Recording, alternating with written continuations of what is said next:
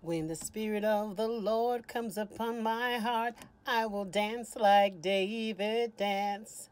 I will dance, I will dance. The Bible says that he has turned my mourning into dancing again. He's lifted my sorrow. He says, weeping may endure for a night, but joy comes in the morning. Not so much when you wake up from your sleep at night, but when you wake up, when you get a new perspective, when you get a revelation that you can get up and do something new and move forward and move on. You know, there's a time to, to, to, to weep and there's a time to dance.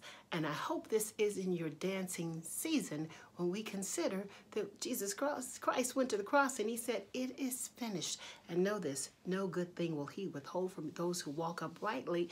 And he says, if he if God didn't um, did not spare his only begotten son, how shall he not through him freely give us all things? So we can be excited about it and dance in advance. That's the name of the poem from my book Soul, entitled Soul's Worth.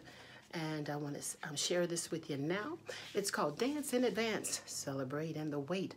Get ready for it when it's first decreed. Participate in the need to praise, retaliate by taking ownership of what you only anticipate, knowing the battle awaits your confession, knowing the blessing awaits your possession, even when it's not at hand. Raise your hands to Abba, Daddy God, and do a praise dance, for He has released what you need. So even when it's far away, you can allow your hands to do a praise sway when you think you're about to break. Bend your knees and for Christ's sake, find yourself seated in heavenly places in Christ Jesus and focus on the kingdom of God. See it released on earth as it is in heaven, on earth as it is in heaven when you need what you need, just how you need it to bless you and others too, so they can give him the glory and give God the praise he is due. So dance in advance, celebrate in the wait. When the Spirit of the Lord comes upon my heart, I will dance like David danced. Get your dance on, and um, next time I come to you from the tea room, I'm going to share with you the reason why I dance from the book entitled such, and it says, and why you should too. There is a directive. Praise God with dance.